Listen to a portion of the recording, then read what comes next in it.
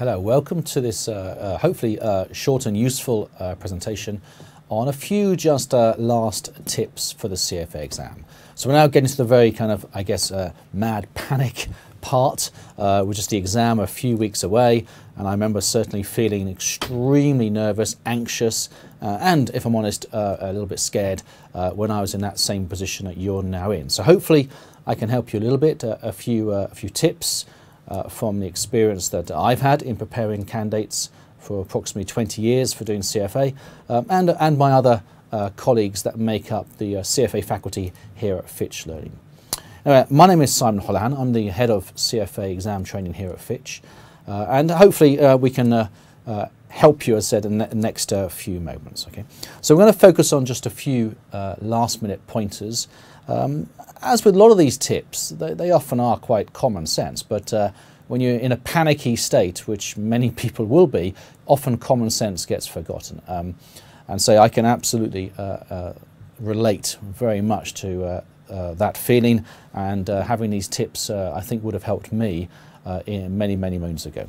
So we're going to look at a very simple structure here, um, a few kind of absolute essential uh, things you have to expect and have to uh, prepare for, and also a few kind of, let's say, top tips in the last few weeks. Okay.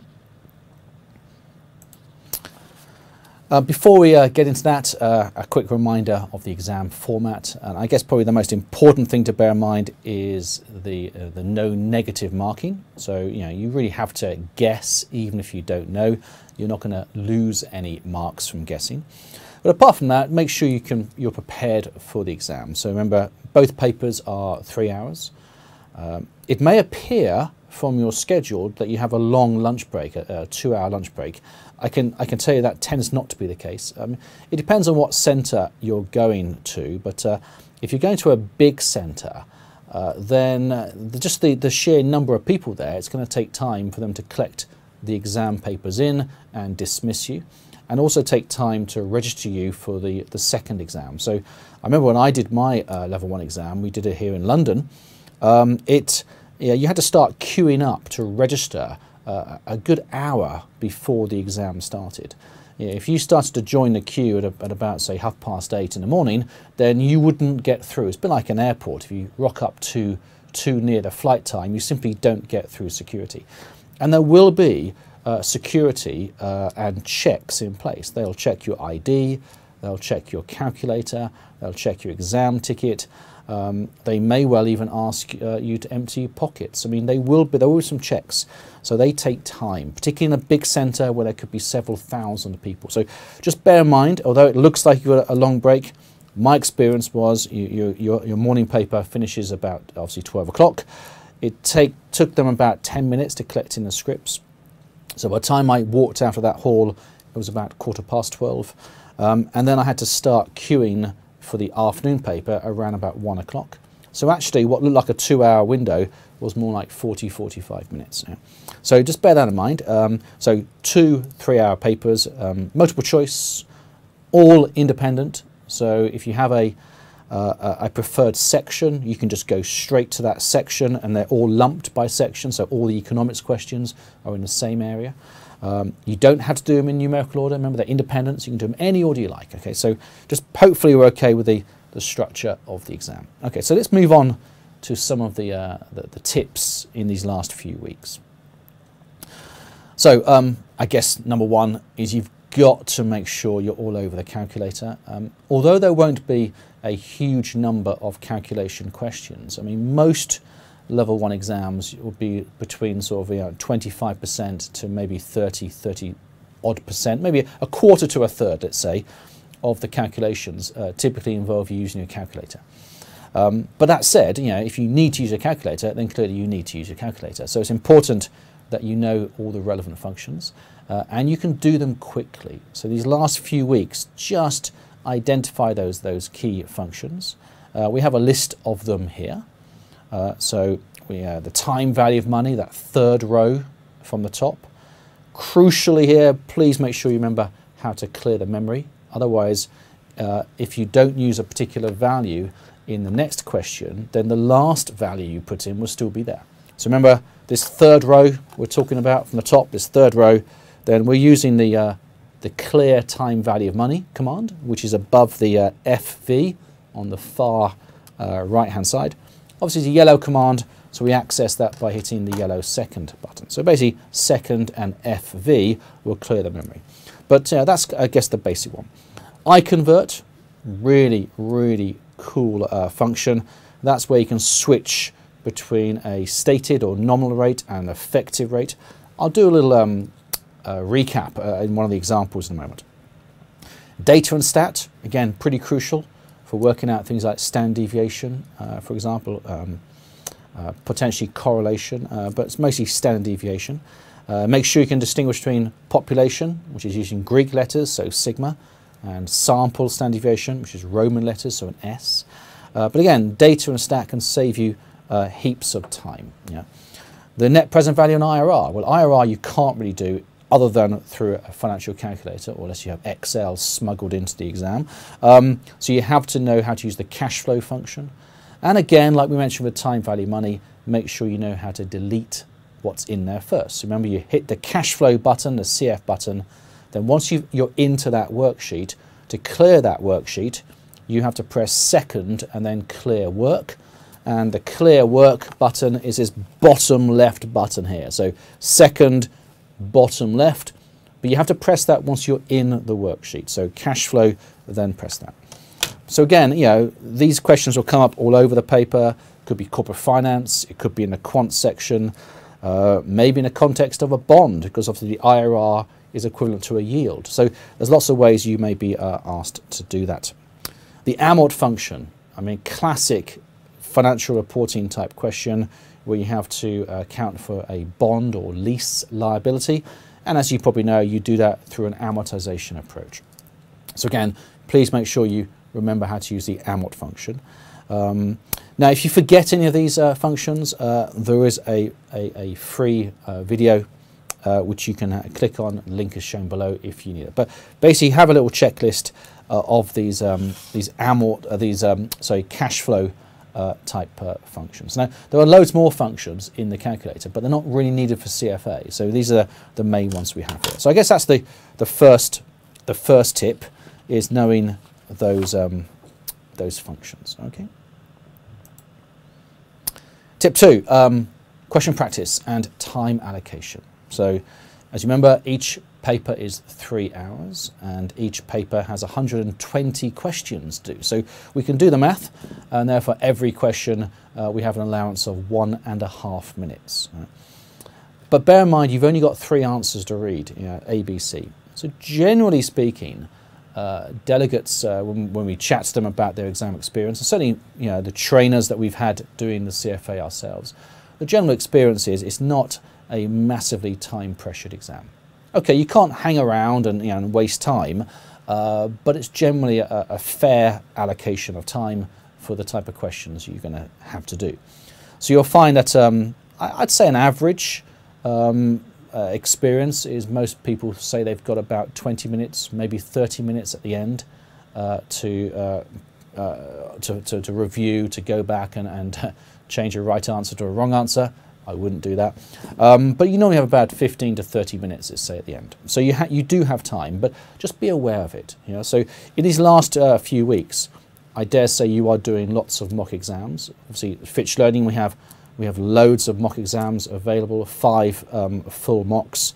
Um, so it's really important these last few weeks that you just do these papers in timed conditions. All right, you're going to get used to that, and you'll soon build up a, an innate kind of a ability to judge time. You know, that little voice will go off in your head saying you've done more than one and a half minutes. You know, so just get used to the timing, but it's generally it's not something I'd panic over.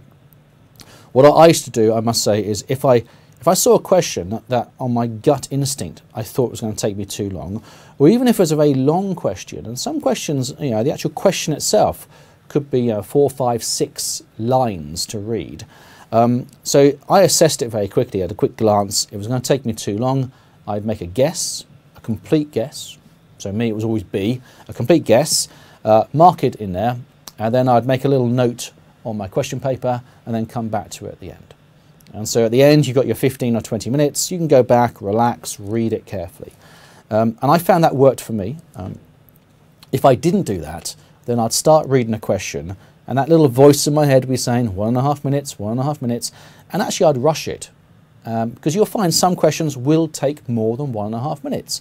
Um, but you've got to remind yourself there'll be others that will take less. But the problem is you don't always do that in the exam. You just focus on the ones that are going to take too long, you start to panic, and you can make mistakes. So to me, I would always uh, leave that uh, to the end.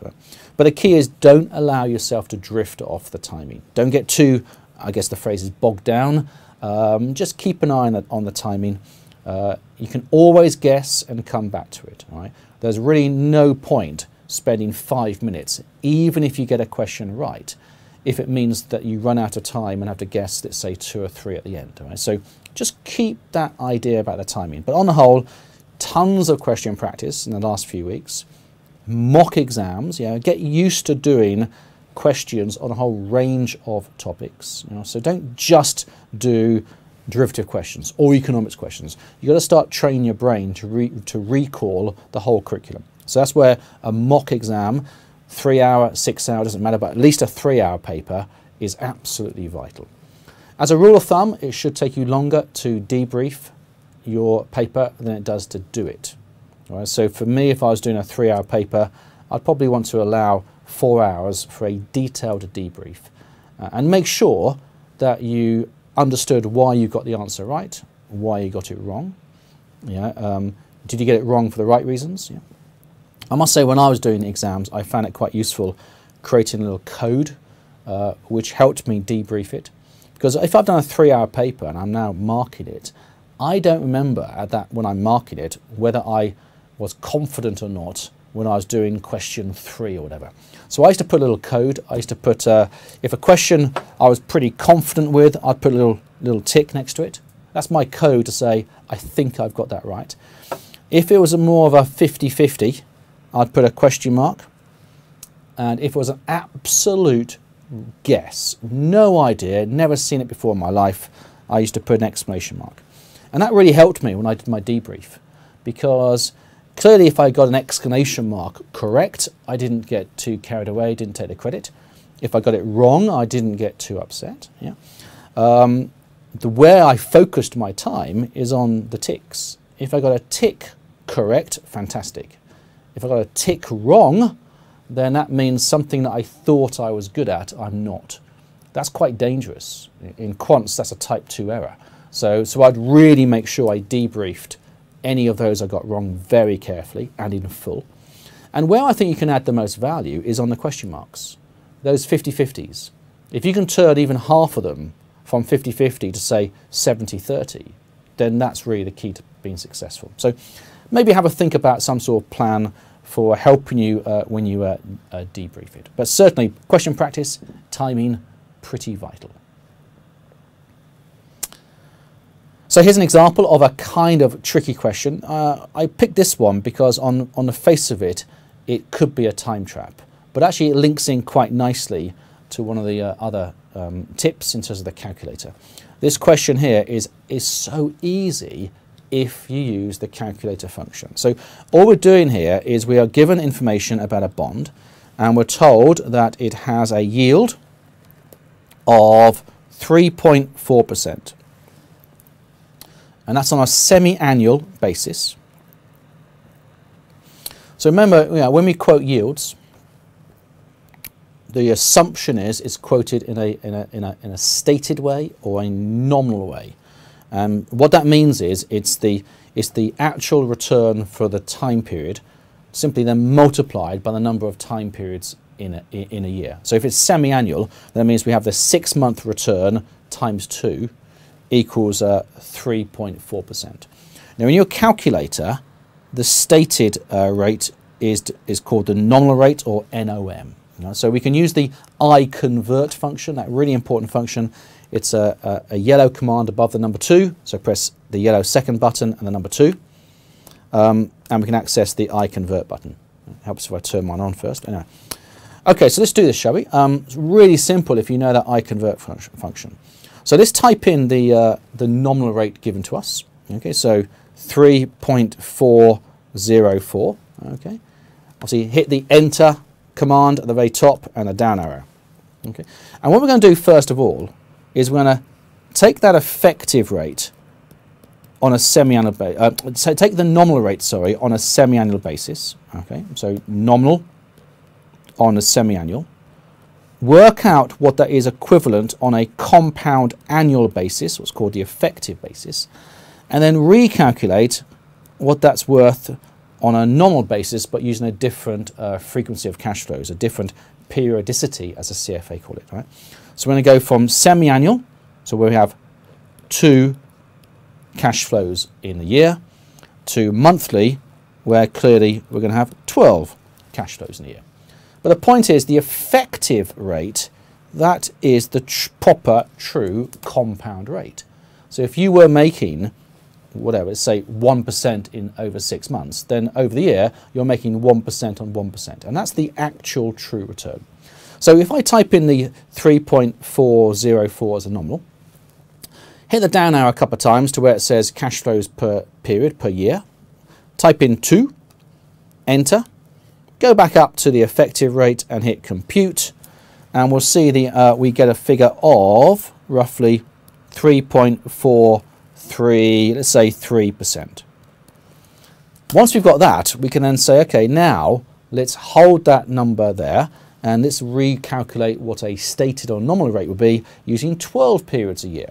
So again, hit the down arrow where it says cash flows per year, type in 12, enter, and go back up to where it says nominal and hit compute. So we get an answer here of 3.38ish percent. So the, uh, the nearest answer is A. So if you try and do this using a kind of a formula approach, which you can do, it's actually will take a bit of time. On that iConvert function, this question, that's quite a hard question, becomes a very easy question and a very quick question. So saying that iConvert function is one of my personal favorites. I love it. It's so good. It, I think it's so intuitive. But uh, So that's one type of uh, question there, which looks like a tricky one, but uh, if you know the functions, it isn't. Okay. Um, cash flow, another type of question. So before we do the question, we've got a quick reminder of um, classifications, because this always comes up. I know we shouldn't talk about the exam, but uh, it's a very, very big area in terms of cash flow classification and contrasting uh, US GAAP with IFRS GAAP. Right? So this is not comprehensive, the slide clearly, but these are the key differences in terms of interest and dividends. Right? So as a quick uh, reminder, um, so for US GAAP, interest paid uh, has to be classified as an operating cash flow, so CFO. Um, interest received has to be operating, CFO.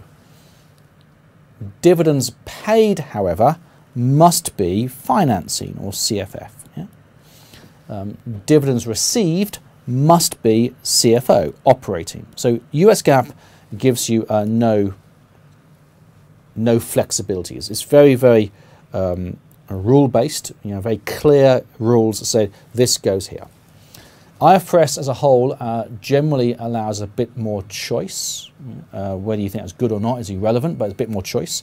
Uh, so they start off by saying, look, if you want to, you can do exactly the same as US GAAP.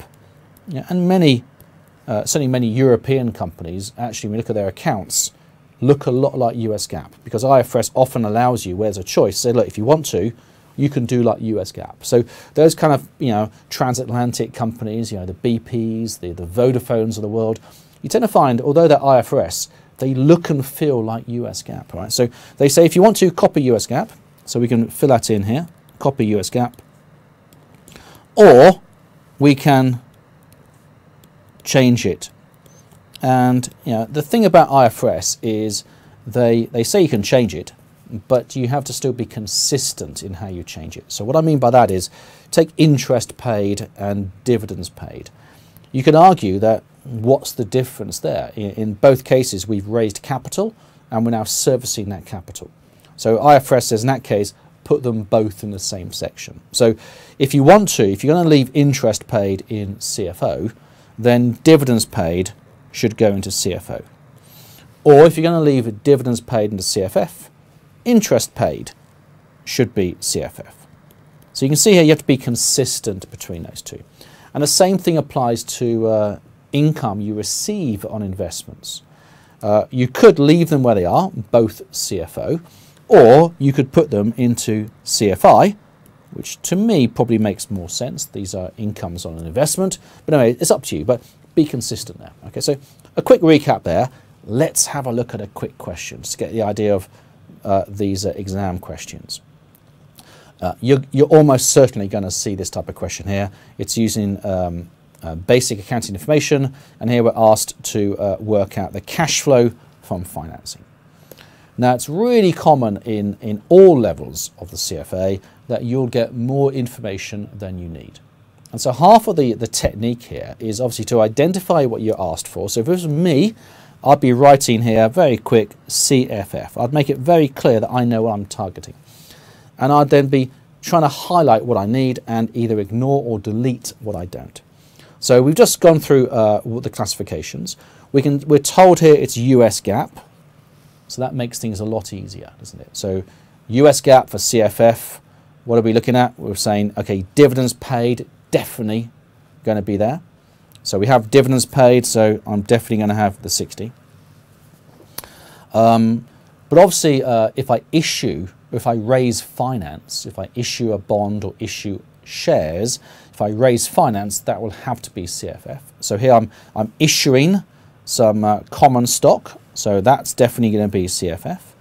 And I'm issuing a bond. There we are. Anything else? Equipment being purchased? Nope. That would, if I was asked, be going through CFI, nothing to do with CFF. Um, fixed assets were sold. Well, okay, that would also be going through CFI, not CFF. And all the rest of the uh, stuff down below is all relating to our, our, operations. So it kind of comes through CFO. So, so none of that is needed. So the 100 isn't needed, the 60 isn't needed. So I've got the bits highlighted. So typical exam technique, ditch what you don't need, focus on the key question, and then plug it together. So, okay, I'm spending 60 on dividends, that's an outflow, minus 60. I'm getting in 40 from issuing shares and getting in 160 from issuing bonds. So if I, if I net all those off, so minus 60 plus 40 plus 160, um, I should get a, a, positive number of 140. Yeah. So, you know, a quick example of a couple of questions there. Um, but, you know, please, you know, think about those calculator shortcuts. You know, if it's a really complicated question, it probably is a shortcut on your calculator. And just watch out for redundant or unnecessary information. You know, do not think you have to use all the information. And I can tell you now, if you're going to do this journey through CFA, the, the higher the level you go, the more irrelevant the information is. So when you get to uh, like level three, you might have a two, three page case study and six questions based on it. But of those two or three pages, the information you need could probably be done in half a page. Yeah? So it's a common theme that you'll find. Okay, uh, next tip. Uh, make sure you know how a topic will be tested. All right? Um, sounds obvious, I know, but it actually isn't that obvious. Uh, you can lose sight uh, of um, the precise uh, uh, focus of the exam, particularly for those of you who might be looking at the CFA Institute uh, books, the e-book, for example. Although they have the LOSs at the beginning of each reading, they're not embedded in the text. So you end up you know, reading something which might be a, a very, very calculation-based kind of bit of writing, and you start assuming that you'll have to do a calculation. All right? And so you, have got to think, okay, but what was the learning outcome statement saying? Those of you who are using obviously Fitch learning uh, material, then obviously we will embed those uh, learning outcome statements on every single slide, so you won't have that mistake. But if you're using the uh, CF Institute, just keep going back to the LOSs. You know, keep going with the LOSs and think about, okay, is it saying describe? Is it saying explain? Okay. Some of the best ways, uh, and I think probably a, a really underutilized resource, but some of the best ways of dealing with this issue is the CFA end of reading questions. Right? They are quite varied in style, so they're clearly written by several different authors, which is good. but also they, they, they are the author's opinion of how that topic can be tested.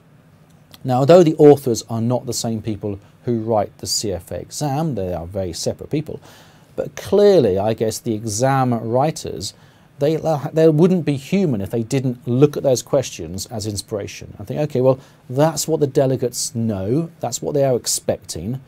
It's probably not going to be fair if we give them a question that's miles different. So I think for tip number three, it's really my advice is to go to the CFA curriculum and go to the end of reading questions. And that will give you a really good feel as to how it may be tested, along with obviously reading the learning outcome statement.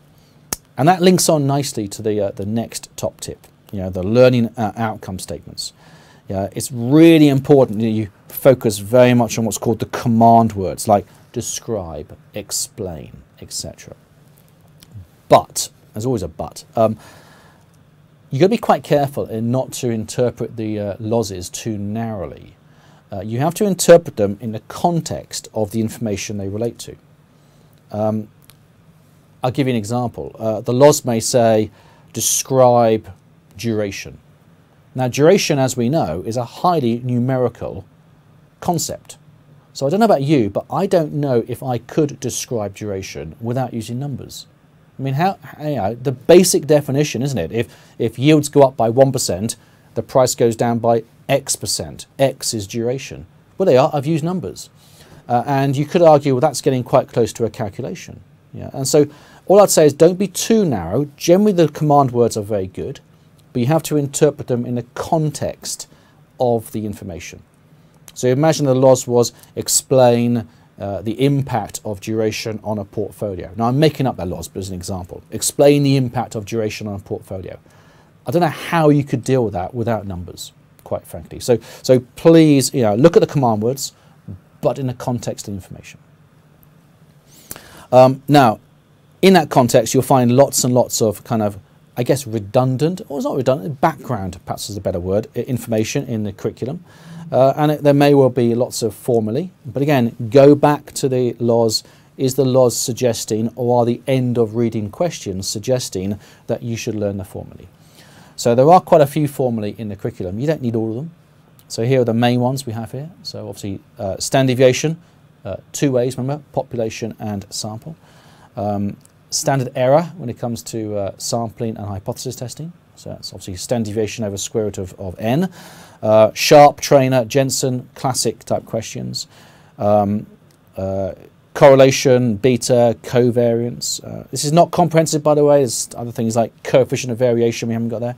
Um, duration I mentioned, so make sure you're all over that. So Macaulay modified, um, effective, etc., etc. Et um, CAPM, yeah, you've got to expect CAPM. Except I won't read it all out, but these are these are some of the most important. As a minimum, you should be thinking, right, I need to be able to do these, recall these, uh, uh, um, and, and, try and do some questions on them. So really important to learn some of these uh, uh key, key formulae. Next tip, um, don't just focus on your favourite topics. Um, it's easily done, but bear in mind, in these last few precious days, you want to focus where you can add the most value. Right? So don't just do areas that you're strong on because, okay, they will stay strong, fine, but they'll probably stay strong regardless of what you do. Equally, don't just work on your very weak areas because they will take a disproportionate amount of your time to crack.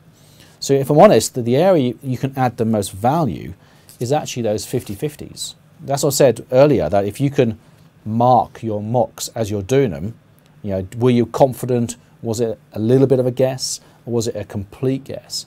It's those 50-50s, those question marks, is where actually you can really add the value. Right?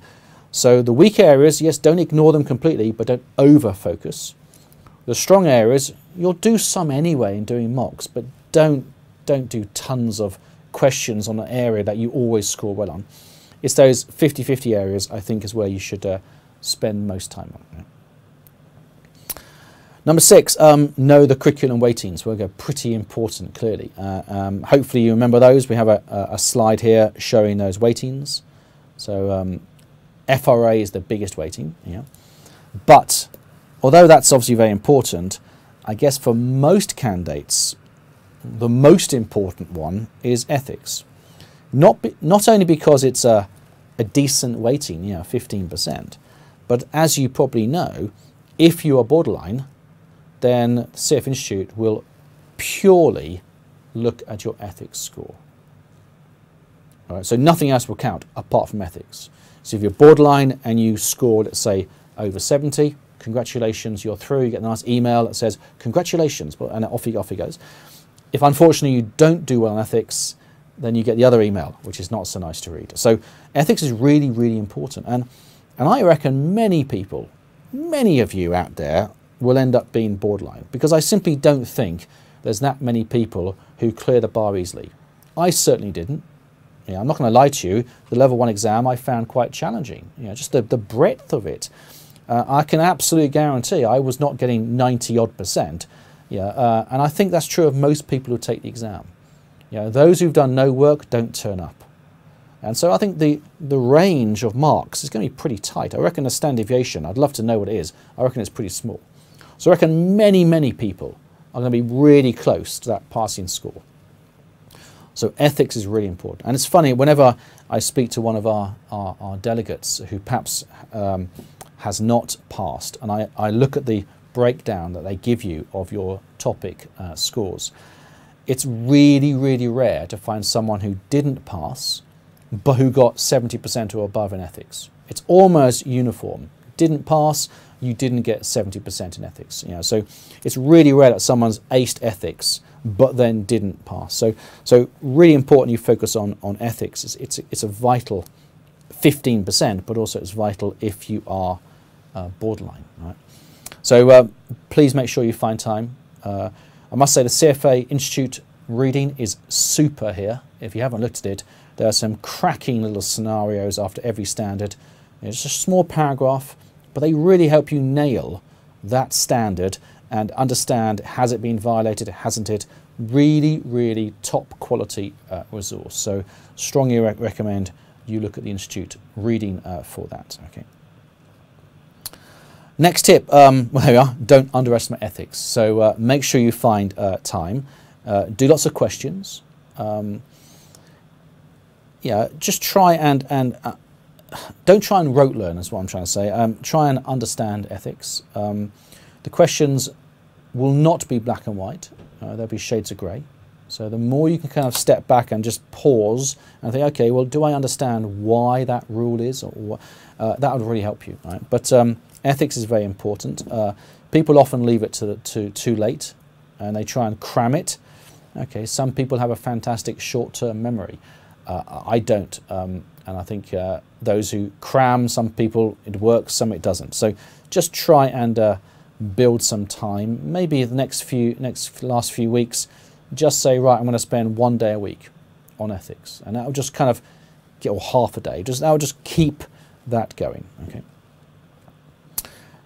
Don't overlook the CFA curriculum. Well, I've hopefully flagged that by now. Um, although clearly you're not going to read the curriculum in, in the time available, the questions, as I said earlier, are really, really useful. They're really useful. Uh, they're useful for two things. As you probably know, the questions define the curriculum along with the learning outcome statements. So even if the learning outcome statement says describe X, if at the end of the reading there's a calculation on X, then you've got to expect a calculation. So, so they're really useful helping you to understand how a topic is going to be tested. Um, but also, I guess the main thing is they are written by a whole variety of different authors. You know, most of your readings are written by at least two authors. The CFA as a principle try and marry up a practitioner with an academic. Sometimes there's more than two, but there's at least two in pretty much every uh, reading. And so you've always got at least two authors in those readings. And those authors are different for different readings. So if you look at those questions, you're looking at questions written by, I don't know, maybe 20 or so different authors. And that's the key. Variety is the key.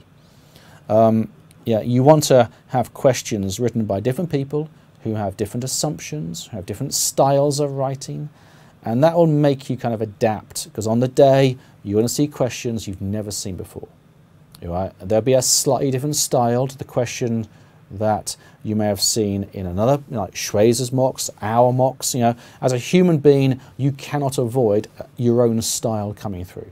So the more variety you have, the more you react to that and adapt to it. So really important that you look at those, um, those questions. Practical aspects.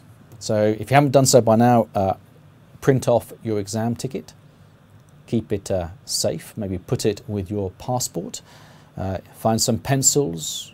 Um, if you need to, uh, get a, a, sharpener there or get a separate penning pencil, uh, an eraser. Um, you know, keep have a little little area of all your key aspect, key stationery. Right? Um, check the rules. I know it sounds obvious, but um, I've done lots of exams in my time. I'm sure you have as well. Um, I haven't actually done an exam that was so rigorously uh, uh, policed by the proctors. Um, so yeah, every year, unfortunately, some candidates get their result made invalid because of fairly minor, you may think, but still breaches of exam rules. The most common one is uh, bringing a cell phone into the centre. The rules are very clear. You cannot have a cell phone on your body in the exam room. And everyone says, oh, but it's turned off. It doesn't matter. The rule is very clear, no cell phones. So please, please have a read of the rules uh, and, and please follow them exactly to the letter would be my advice. So, so have a have a read of those. But, but also other practicalities. Um, if you haven't been to the centre before, go for a dummy run. You know, make sure you know the route. You know, do you know where to park? If you're using public transport, you know, have you checked out the times? Uh, so you, I know it's obvious, but you'd be amazed how many people come the day and they suddenly think, oh, I don't know where to go. So, you know, maybe the weekend before, go for a little drive or go for a little explore.